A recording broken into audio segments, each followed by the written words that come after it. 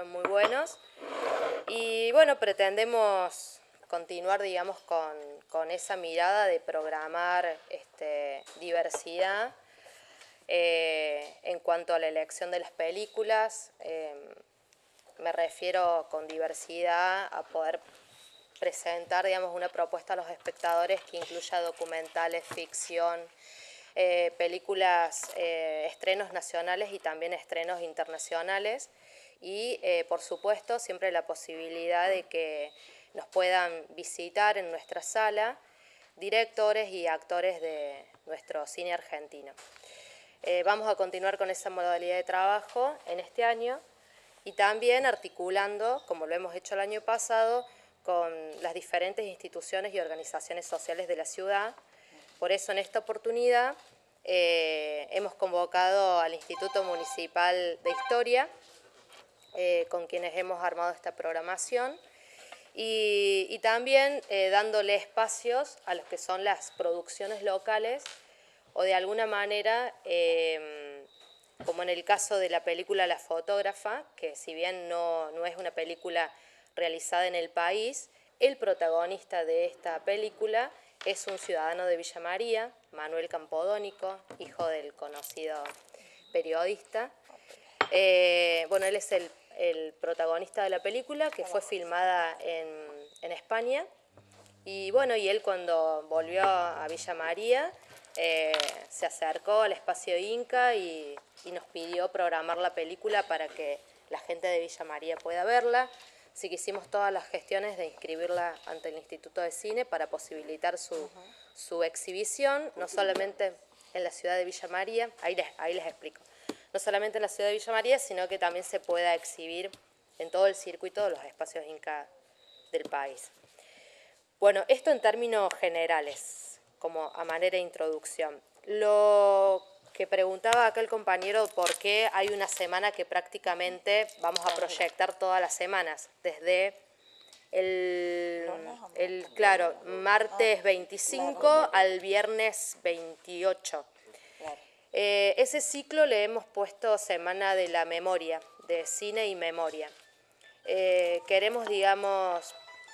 trabajar el tema del 24 de marzo, el Día de la Memoria, la Verdad y la Justicia, y por eso, bueno, hemos invitado al Instituto Municipal de Historia para que nos ayuden a seleccionar una base de una base de datos que tenemos en el Instituto de Cine de varias películas referidas a la temática para generar una propuesta para las instituciones educativas de la ciudad. Estamos hablando de nivel medio. La intención es proponerles a las escuelas 10 eh, películas que seleccionaron las compañeras porque ellas van a participar de las funciones haciendo la introducción, o sea, contextualizando eh, el proceso histórico que quiere narrar la película y después también guiando, si hay un interés de parte de los chicos, eh, un debate posterior. Eh, esa sería la propuesta. las películas las dejamos, digamos, como una propuesta para que las escuelas nos formalicen en qué horario y qué día quisieran traer a los chicos. Pero no obstante, durante los mismos días, todas las noches a las 21 y 30 vamos a tener una función estable en donde bueno, vamos a tener este tipo de propuestas, películas del cine argentino muy reconocidas como la película de Cortázar, Verdades Verdaderas, eh, sobre Estela de Carlotto, la vida de Estela de Carlotto, y también en ese ciclo hemos introducido la mirada bueno, local de alguna manera, que es la película que protagoniza Manuel Campodónico,